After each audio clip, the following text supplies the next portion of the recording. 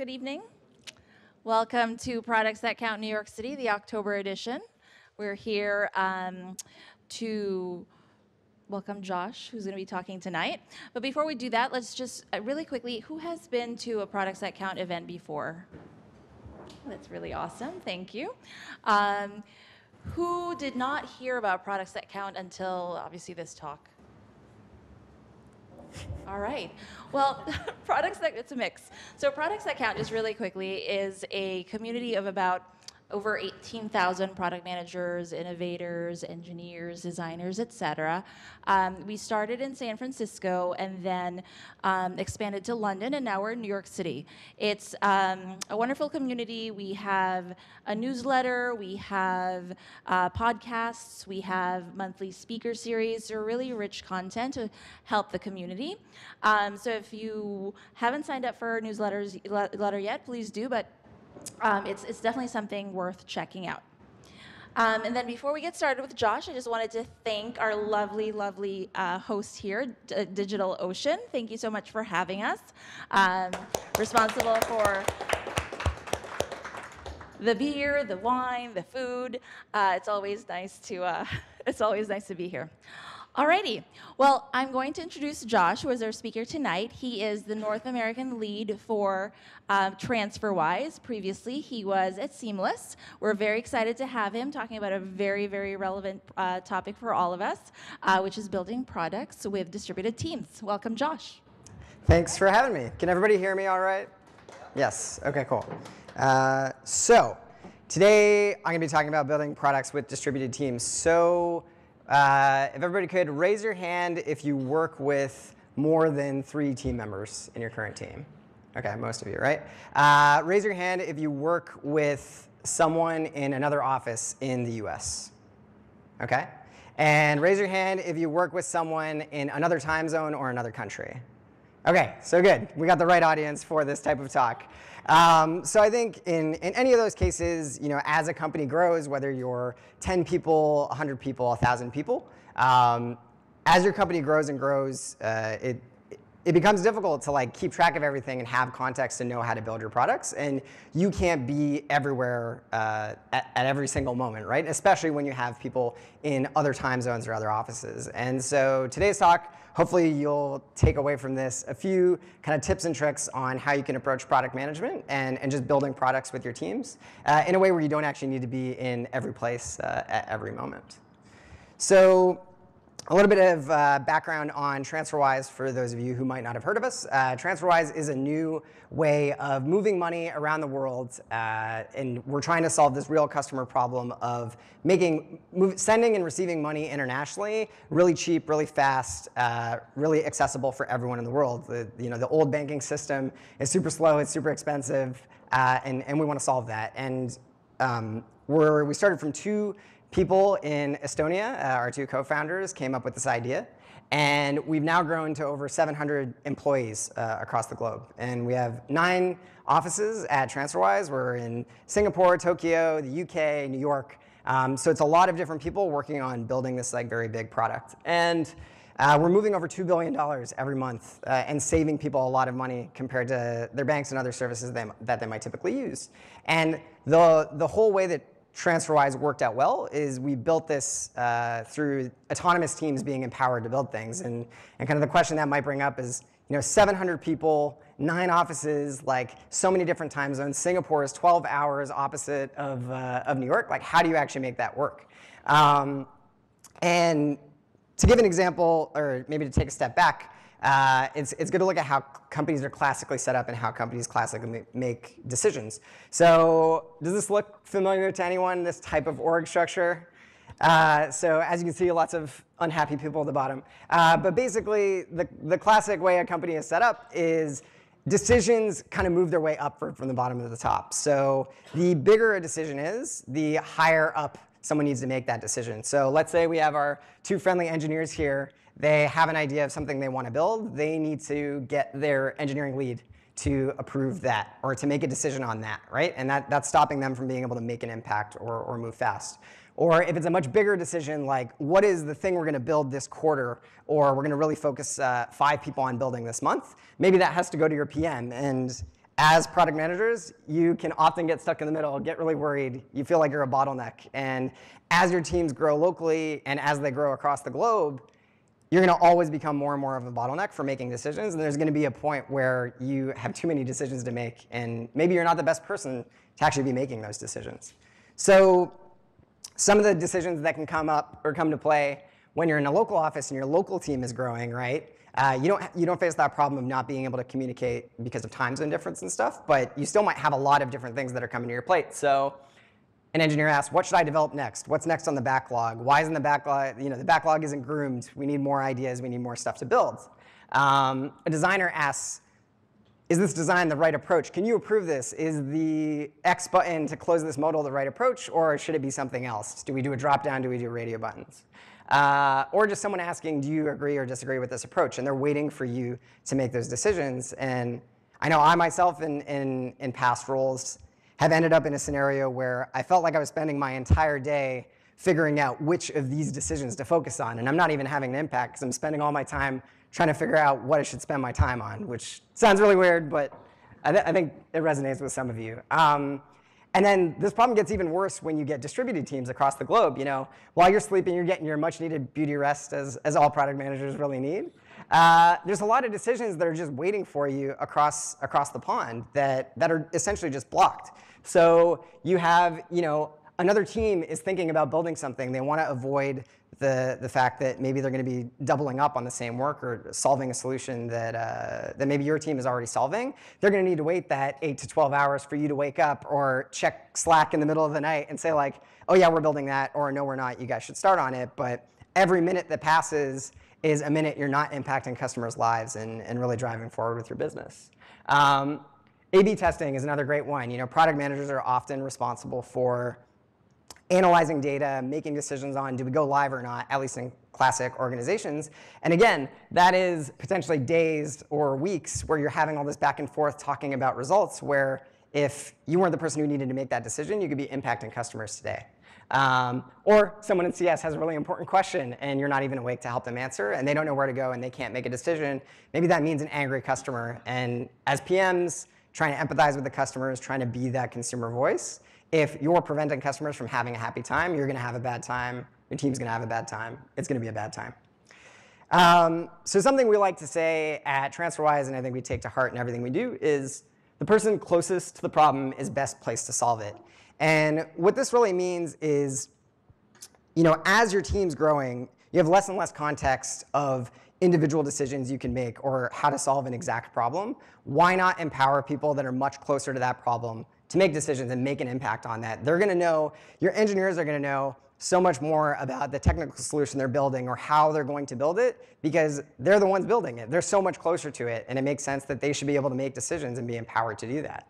Um, and I think if you can find ways to let those closer, those closest to problems actually be able to help solve them, you could make a lot more impact and you can save yourself a lot of time because you don't need to be making those decisions or doing those things.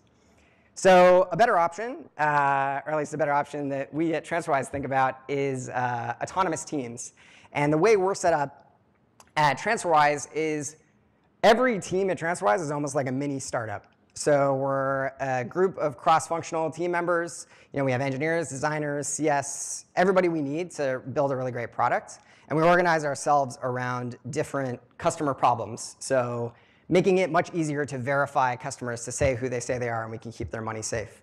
Or payment processing, making payments moving to and from the US as fast as possible for our customers. And these teams, since they act like startups, they make decisions within their own teams. They decide what are the metrics we're trying to move, what are the priorities that we're solving.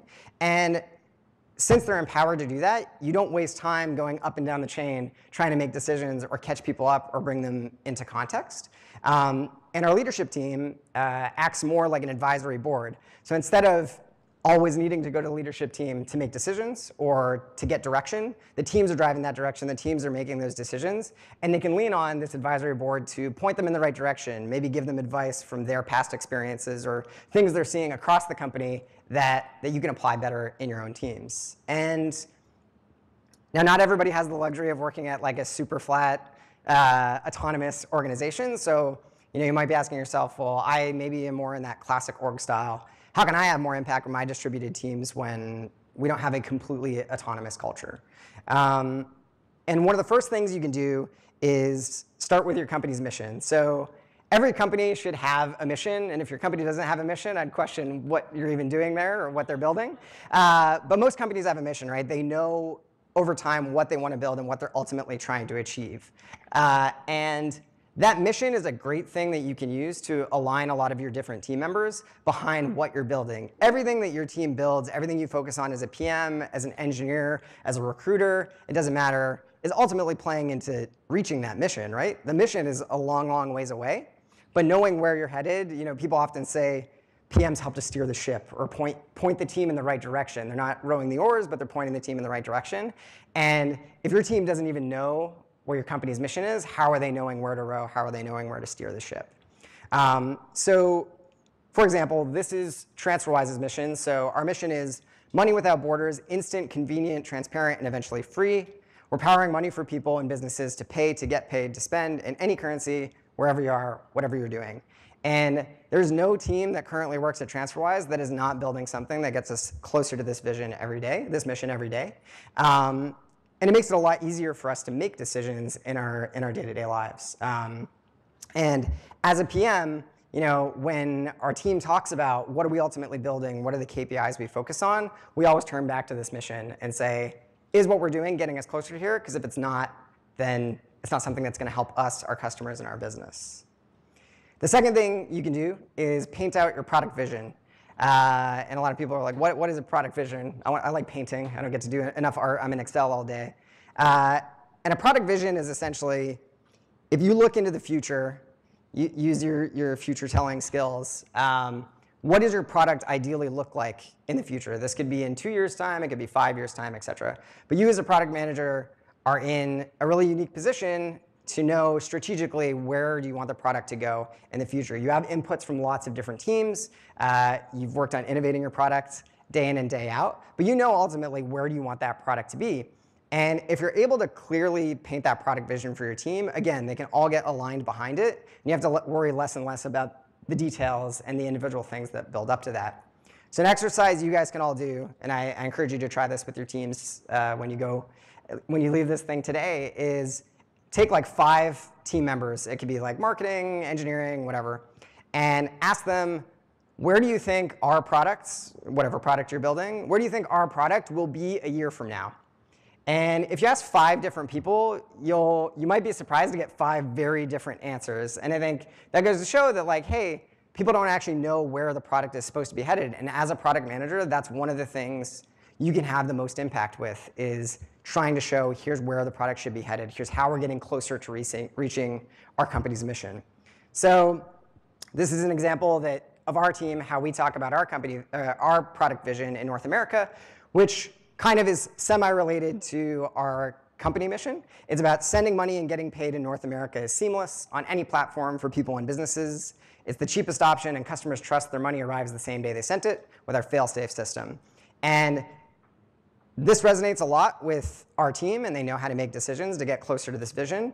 But this also is kind of derived from our larger company mission. So if we're able to accomplish this vision, we're helping TransferWise as a whole ultimately reach uh, our mission of instant, eventually free transfers around the world.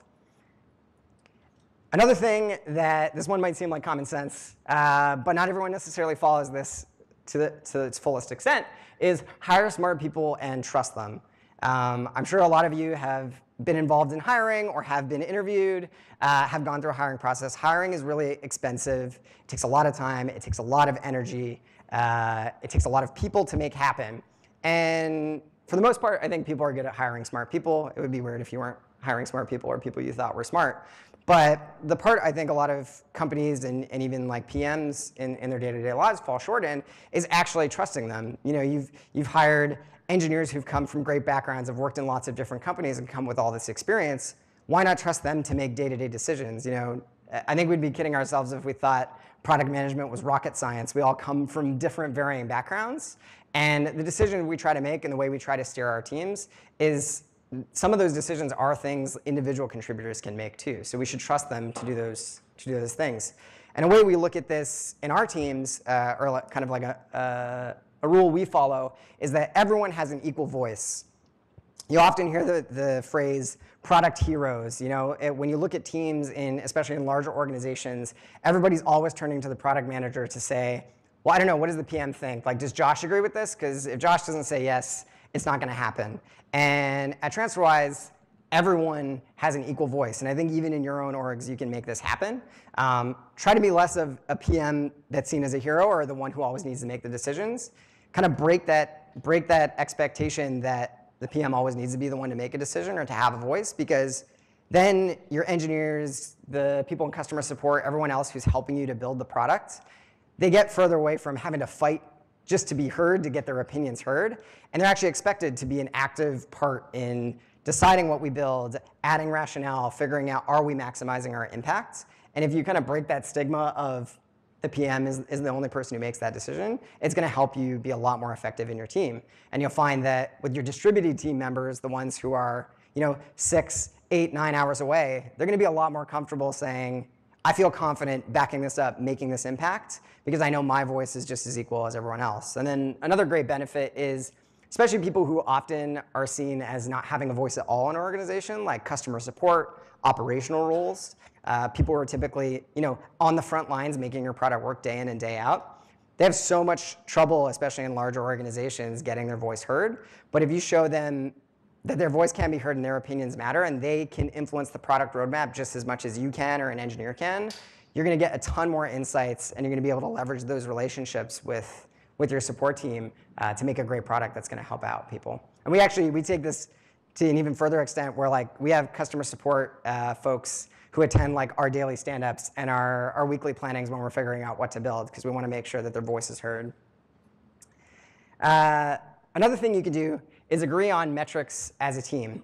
So in the classic org styles, right, uh, metrics are often handed down, right? It's like the board wants us to reach this much revenue, or get this many MNUs, and individual teams that says, okay, your KPIs are blah, you're trying to hit this many X MNUs, et cetera.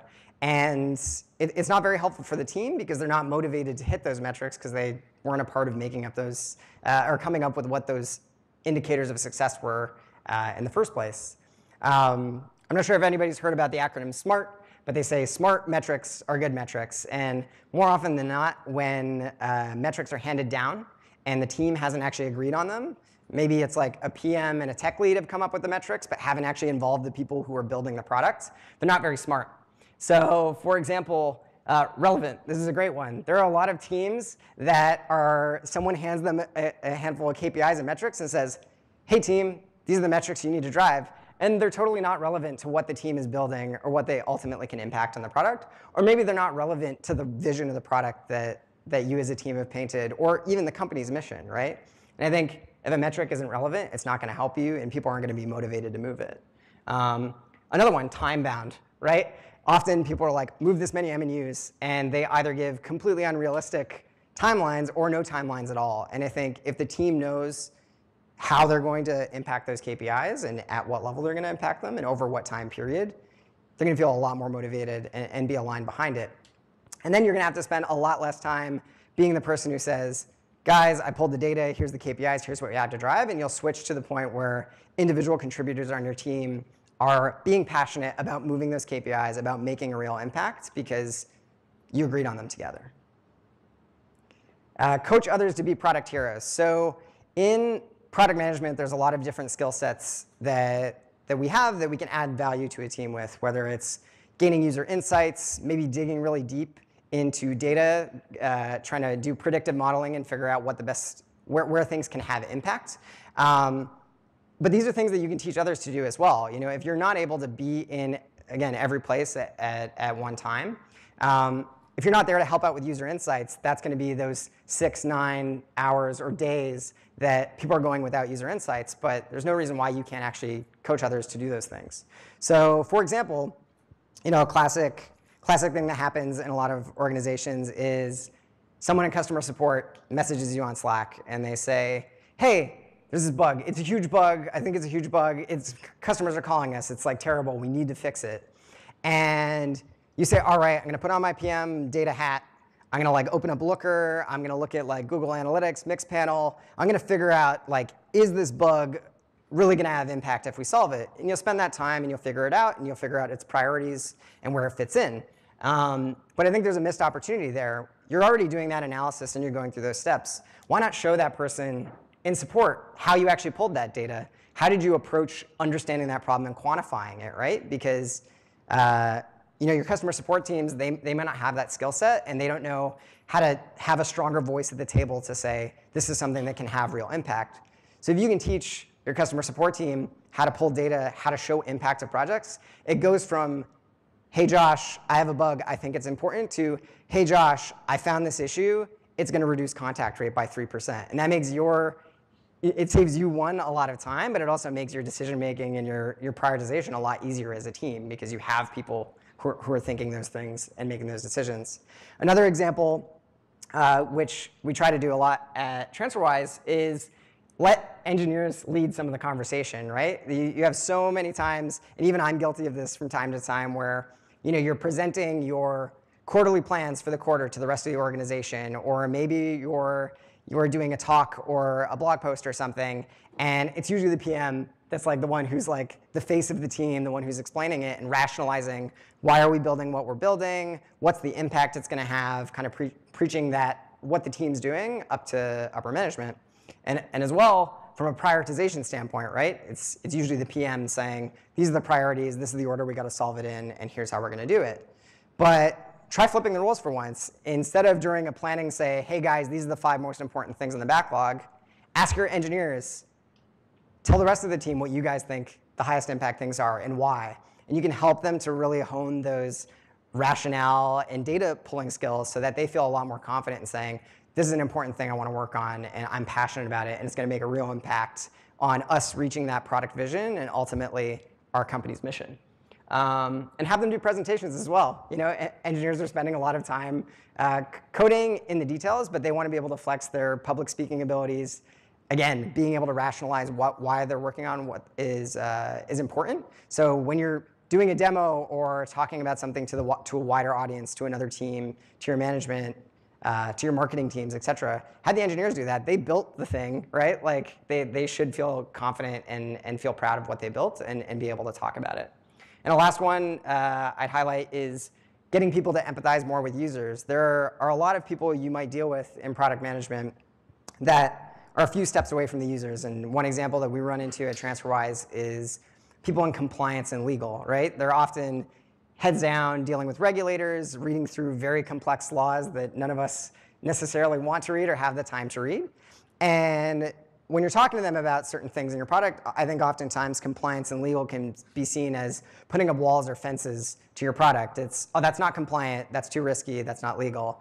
And you spend a lot of time trying to get them to understand here's where the customers are coming from, here's the core customer problem, or maybe here's a way of approaching it from a user-focused uh, standpoint. Um, so why not teach people in those roles who are typically three steps away from the user, bring them a step closer, maybe have them do a side-by-side -side with someone in customer support and actually talk to customers face to face. They're going to be able to empathize so much more with the problems that customers are going through. Or if you run a user testing session, you're going through a flow and you're trying to make a decision on how to handle something from a legal or compliance standpoint. If that person's involved in that user testing, they see how users feel, they see how you think about getting into a customer's mind frame, um, they can do that in their day-to-day jobs. And, and ultimately, you're going to make better decisions on, on impacting your customers. Um, so yeah, to recap, I think ways you can maximize impact in your distributed teams is start with your mission. You know, take your company's great mission and preach about it. Paint that product vision, show people where your product should be headed, uh, and, and get them on board. And, and make it so that the next time you ask those five people, where's the product headed in a year, you're going to get the same answer. Hire smart people and trust them. Empower people to make decisions that they are totally capable of making and probably will make a better decision than you can. Uh, agree on metrics as a team. Make sure that they're smart make sure that what you're driving is actually making an impact on the business and driving the mission, and coach others to be product heroes. Um, and yeah, uh, we are hiring, so if you like the way that we work, you can always check out transferwise.com slash jobs to see uh, jobs we're talking about. And uh, thanks. That's my talk.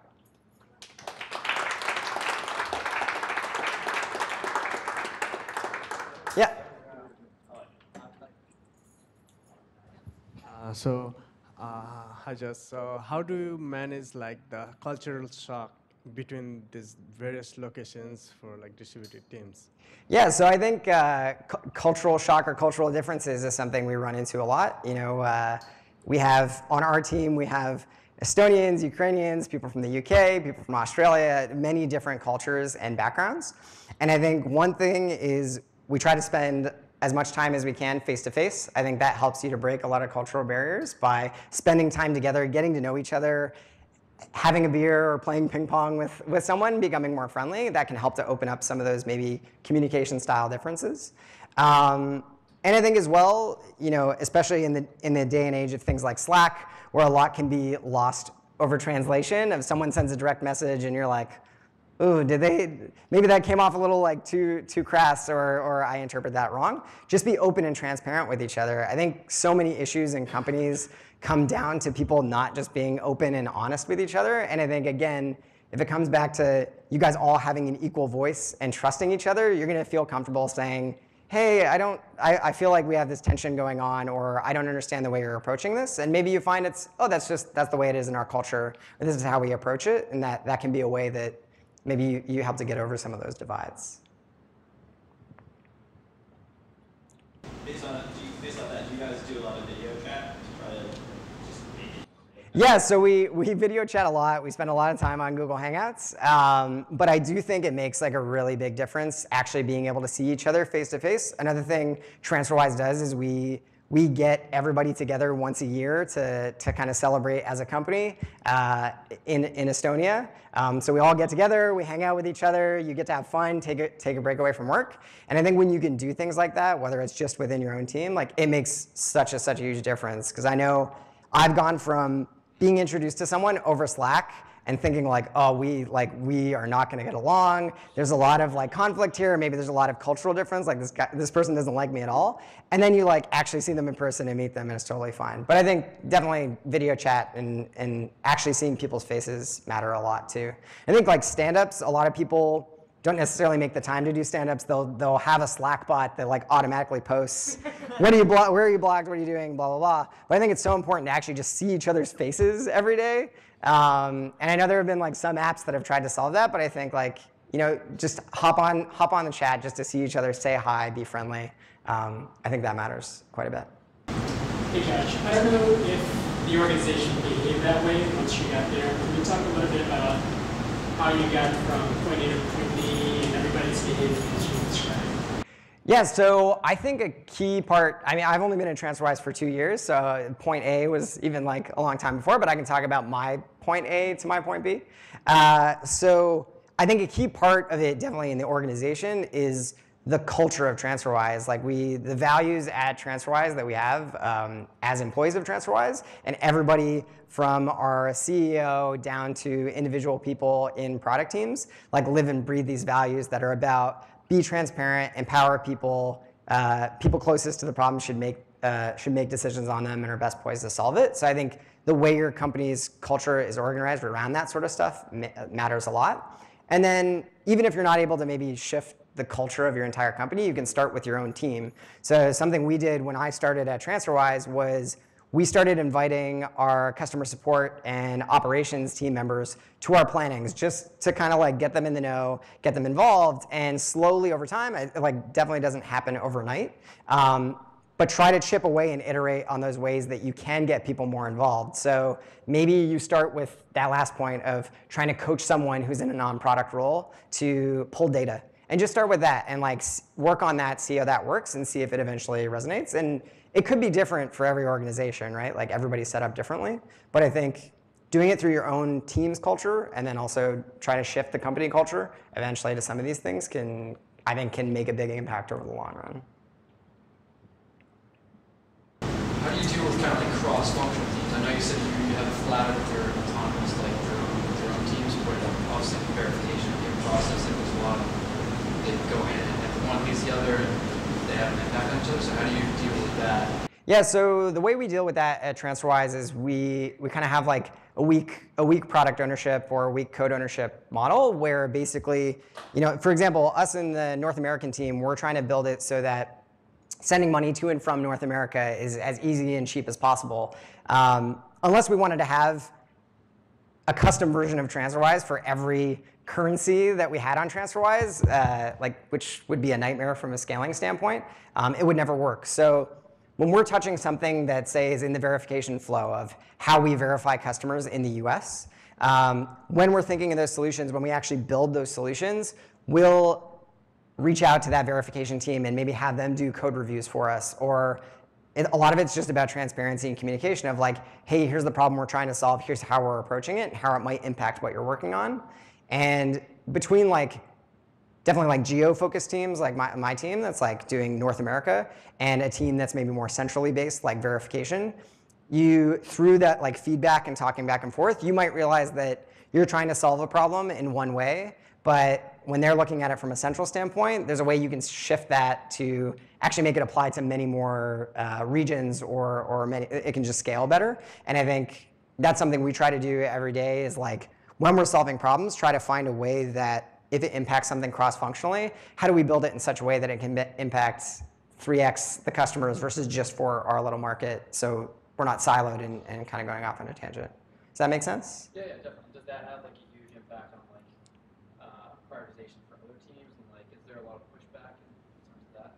So at, at the end of the day, we we try not to like get in any situations where like a team has to approve or thumbs up something you're doing. Your your team ultimately does have autonomy for that. But I think it you wouldn't end up in that many scenarios if you're communicating openly and honestly and talking about like the motivations of of the problems you're trying to solve that you would end up in a situation where you're going to make a call to build something that a team is like very very against um, and I, I, think the key there is just talking about what's the customer problem you're trying to solve uh, what are their worries why do they not want you to approach it in a certain way but again if if your team is able to go in and iterate on that code and, and they can be involved just in a code review. I mean, teams are so much more happy to say, hey, you want to make verification better, but we don't have to build anything? Perfect. Like, let's just make sure it doesn't screw up the system as a whole. Um, and, and I think that works really well. I don't know if it'll work at every organization, but it definitely does the way, the way that we're set up.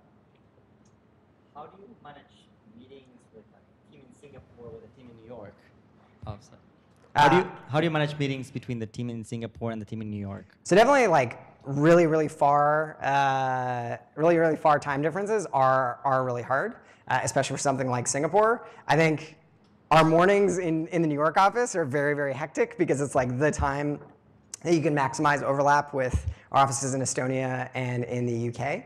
Um, and I think I think the key there is well, one finding what meetings are actually effective to have. I actually try to maximize as much as I can, and I could probably do an even better job of this of like just spending time with the team and, and doing the things that helps to unblock them the most or helps to go through some of those things like coaching them, uh, pointing them in the right direction, making the vision clearer. Um, so I think I think a good way to approach that, especially when you're in such distributed teams, is like if there's anything in those core crossover like time periods of the day, really, really question like, is this meeting necessary? Is this meeting necessary for this time of day? Um, I think another thing which almost plays back into the cultural question is like, uh, which I, have learned over the course of working at TransferWise is we have a lot of coworkers in Estonia, and Estonians are a lot quieter than Americans, which probably isn't a surprise because there is that stigma around Americans always talking and being and being loud. Uh, and so there, like when you're talking over video chat or something, you want to make sure you give people the opportunity to talk, to have an opinion, um, and also know that like, oh, it's 5:30 at the end of the day, their day, like understand where they're coming from and, and that maybe they're a little tired and they, they need another cup of coffee or something. Um, so kind of having that approach to meetings, I think helps it to be more effective.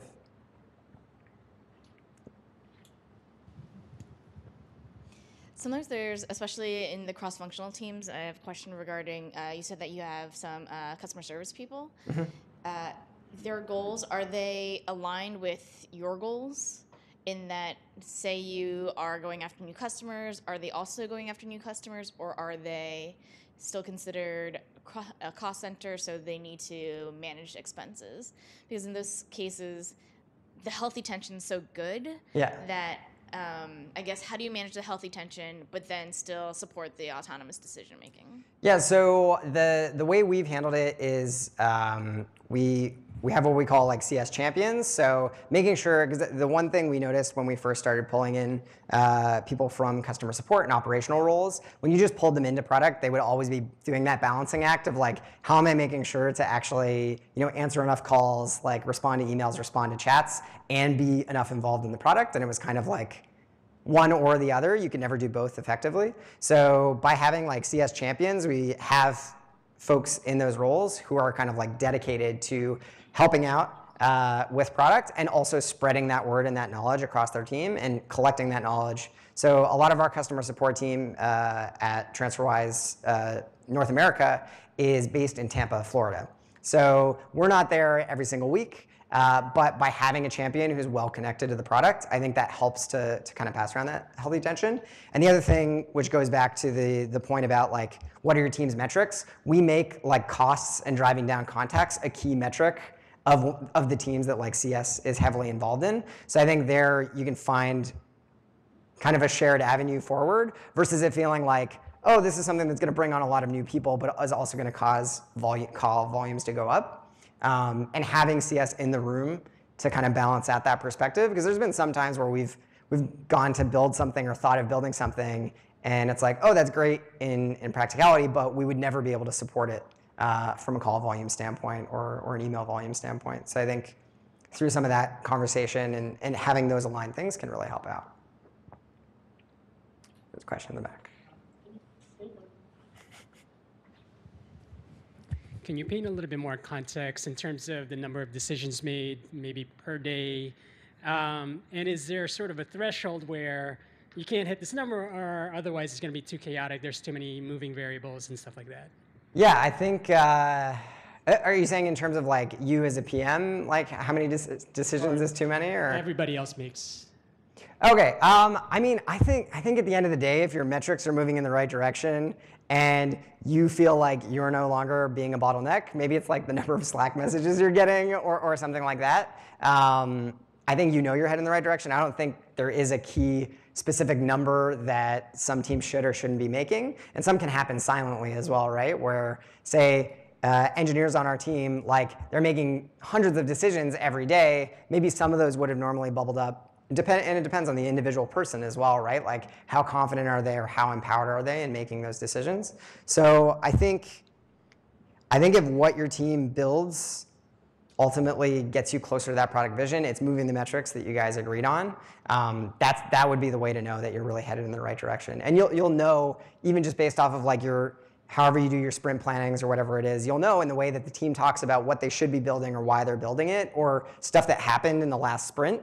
Um, you'll see some of that stuff start to come to fruition you, where you'll realize, oh, maybe I'm a step away from that stuff, but it's still ending up in the right the right area. And then you also as a PM, I think another way to measure it is like, are you spending time on the stuff that you can have the most impact with as a PM? So maybe instead of spending most of your time organizing a backlog in Jira, you're spending that much more time talking to customers, uh, researching competitors, doing some of these things that maybe people who are building the product and are, are in, in the details don't necessarily have time to do or aren't in the best position to do. You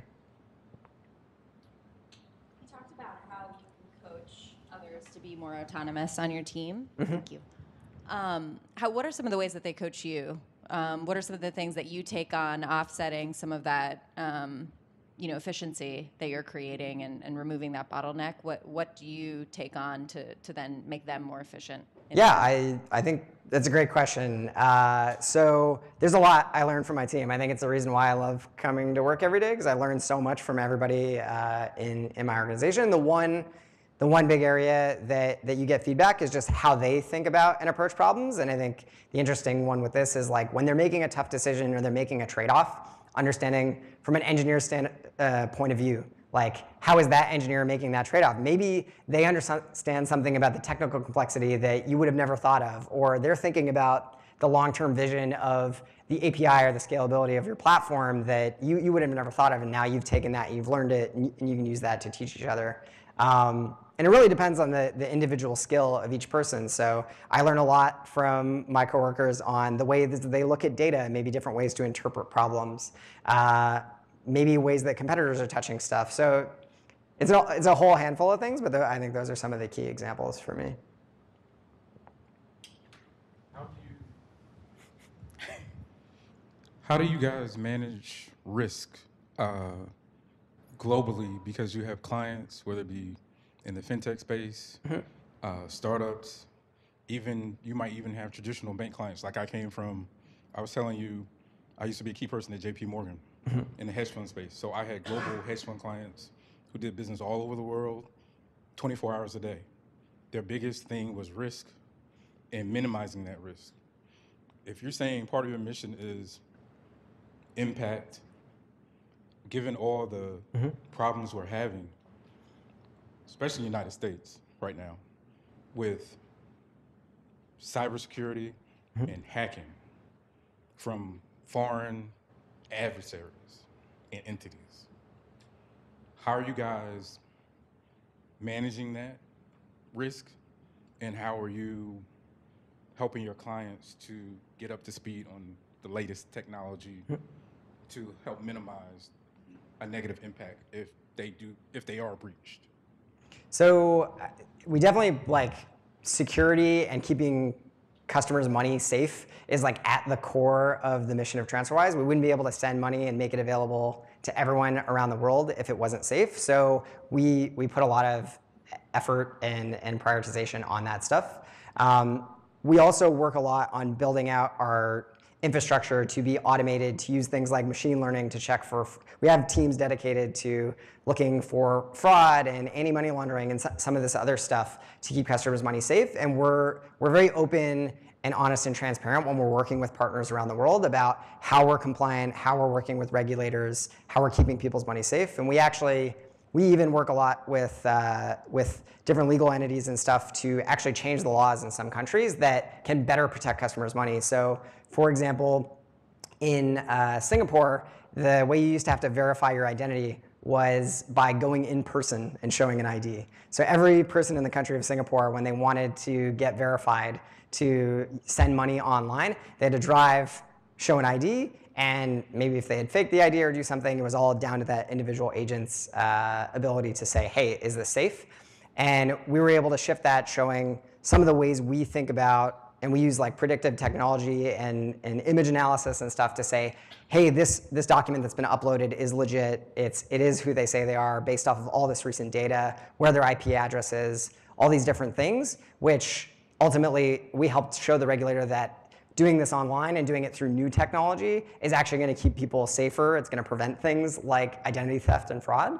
Um, and so we're always looking for ways to, to improve at that and, and partner with like the, the old world technology versus saying, that's broken, we're just going to ignore it and go our own way. I think like partnering with regulators, partnering with uh, leaders in the fintech space as well on how, how they're tackling some of these problems in their day to day is really, really important. Does that answer your question? Yeah. Cool.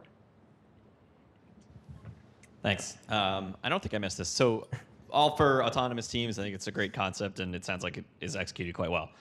Um, inevitably, when you get to a certain size, you have teams because they're autonomous that don't talk to each other enough. What do you do when you have these teams of three or five people, which I think is the right number of people to come to a decision and say, "Hey, do you think that makes sense? Okay, let's great, let's do it this way." And you have another group like that, et cetera and there is a roadblock and you're like well it made sense in the group or we thought we thought we thought about the problems of the group but actually there is a conflict or that system won't work with this system or whatever like that seems to be the reason not that i'm arguing for it but the reason why bureaucracy exists so that oh we get up to the top and so therefore that doesn't happen now we know it doesn't always work that way but i'm really curious because that would seem to be the biggest threat to this model Yeah, so I think, uh, I mean, the root cause of that problem is just people, not the right people talking to each other there, right? So it's like they're they're in their silo, they're in their three to five person team, and they're making that decision. And so there's a few ways that we try to mitigate this, but you know those things can still happen. So the one thing we do at TransferWise is every team makes like the stuff that they're working on and their plans for say the quarter or for the month like super transparent. Anybody at the company can see what anybody at the company is building and why they're building it. And we also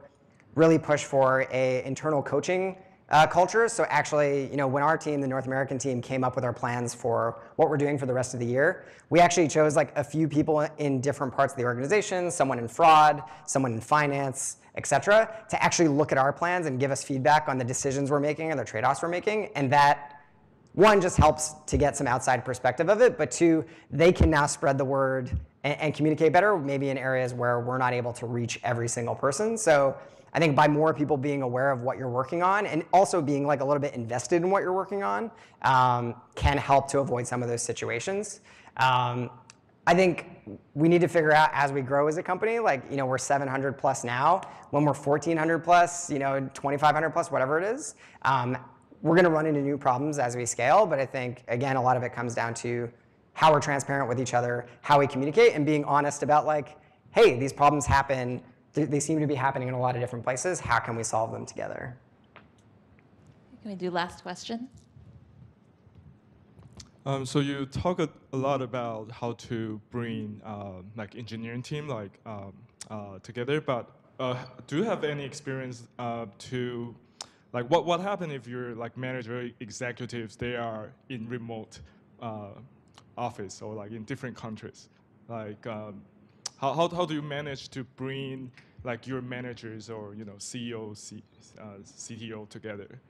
And, what uh, what specifically is the aim of bringing them together? Is it to like let um, them know what you're working so on to get their buy-in? Yeah, I mean, so in my case, it's like uh, like our CTO like travels around uh, yeah. the, the world, so like we, we couldn't actually see i mean talk to him in person mm-hmm. so like what, what's your approach to you know to have them uh, sitting uh, together? Yeah, so I think, yeah, there are a lot of companies that are, I mean, like my, my lead and my CEO don't, aren't in New York, right? So it's a, it's a problem I like, or it's, it's a difference that, that I face too.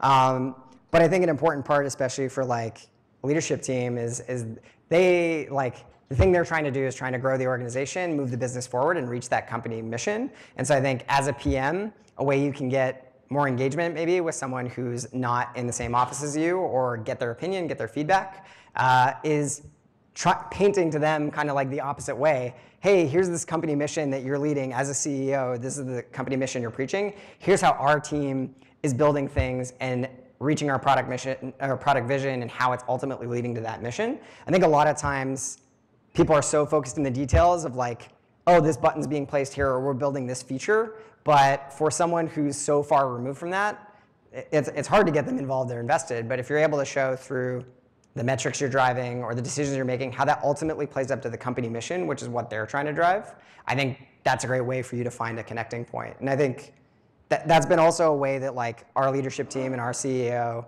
at TransferWise has been able to give us helpful feedback. You know, they're able to take a step back and say, well, hang on a minute, like, how does this ultimately play into the mission? Or maybe you should be thinking about this part, or this is a different way to look at it. Um, and I think if everything connects up the chain uh, from, from individual feature all the way up to the company's mission, that conversation is going to be a lot easier to have.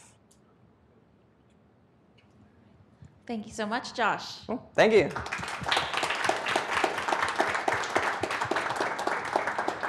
right. So one other thing that we do at um, Products That Count is we do shout outs. Uh, so if you have anything you want to share, so for example, there's a job that you're hiring for, you're looking for a job, you're working on something awesome that you want to share, uh, you're looking for users, come on up and uh, and share. So I will go first. Um, so I'm Andrea. I head up products that count in New York City, but I also run product at One Kings Lane, which is an e-commerce uh, home furnishings company. I have openings for product roles, engineering, and some uh, and a UX researcher. So if you know anybody who's looking or if you guys are looking, come find me after this and we will chat. Anybody else want to do a shout out? Let's go.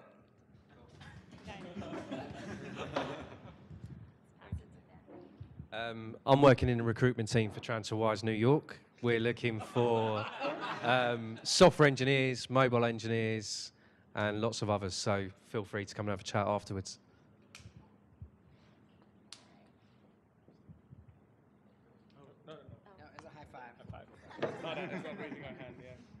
This is shout out, but not for recruiting. We are hiring, but I was going to do shout out more on the other business models. So um, I work at Glossier, and we're not fully distributed, which is kind of interesting. Um, it's more that we have a bit of a hub uh, as our New York is our main office. We have half or a third of our tech team in Montreal, but then a couple of remote people.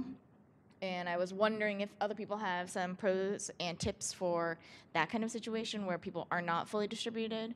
But my tip would be that it is good to become the remote office every now and then, which is to say, we need to feel the pain in the New York office of what like our Manila engineer feels, of what Greensboro feels, of what Montreal feels when their sound suddenly cuts out and they don't hear anything of the co- uh, conversation and they're like waving for attention. So we try to make everyone feel that pain uh, uh, like once in a while to remind each other of the empathy.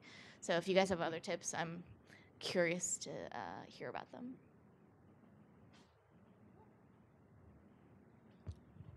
Anybody else doing a shout out? All right. Well, shout out to me feels like I should be like praising someone. I'm not really going to do that. uh, well, two things. So I'm Ross. I'm looking for a new product or potentially marketing role. Uh, so keep me in mind. Um, I've worked at Mastercard and Amex uh, of late. Uh, and otherwise, I'm curious if anyone here has also worked in any cryptocurrency or blockchain stuff, which I know is very buzzy, but a lot of people haven't worked in it. So if anyone has, I'm very curious. Cool. All right. One more shout out. Hi, everyone. I'm Joseph. Uh, I'm a part of Products That Count, the community. I've been with the community four months. Um, I met Andrea this evening, but I've been in contact with SC, uh, getting more used to the different dated-minded thinkers that we have, and um, I'm what you would call a creator or an innovator. I'm a former key person at JP Morgan. I spent about a decade there um, in different roles. I started out in private bank, um, went on to manage retail real estate teams, um, non-for-profit, healthcare space. But the part I enjoyed most, which you might find intriguing, is getting to know our clients intimately, especially the last five years I spent in the large corporate financial institution space. So the D. Shaws of the world, the Blackstones, the Charles Schwabs, they require a lot of hand holding and constant attention. Um, and I think Josh talked a lot about paying attention to detail and the impact that you can make. And I say all that to say is I'm a difference maker. And in certain circles, they call me the, I'm the billion dollar Wall Street banker you never heard of. But in a minute, you all are going to hear about me because I'm working on different side projects with uh, equity crowdfunding platforms, also crypto, people out in LA. Um, but I'm just here to, I told Andre I want to be a volunteer. So if you need any help, big strategy ideas, business development, enterprise level things, risk management, I'd be happy to share some contacts and experience. And I'm also in, in the market. Uh, I'm talking to different fintech and startups globally at the enterprise level. Um, so keep me in mind if you know anybody. All right. Thank you. Um, okay, three more things, and then we'll do a quick raffle, and then I'll let you guys have more pizza and beer. So, my PSAs for the evening. Uh, so, three things. One, uh, so we're all product people here. Uh, products that count, we really care about feedback. Uh, you should be receiving in your email uh, just a very short survey. Please take it. It's for us to be able to measure our NPS score. Our NPS average is about 50, which is pretty high. Um, and what we typically try to do is make a little game. We try to, you know, do this for our speakers. Um, so with the average of 50, let's help Josh beat that. Uh, so take the survey, score score high for him. Um, score high for products that count. It does help us make our talks better, our events better, etc. second PSA. Uh, DigitalOcean recycles, so let's make sure as we enjoy the pizza, the beer, etc., we are throwing out um, the trash, the bottles, etc., accordingly. The the uh, uh, the the canisters are marked. Last PSA, super fun. Our next event uh, is next month on November 15th.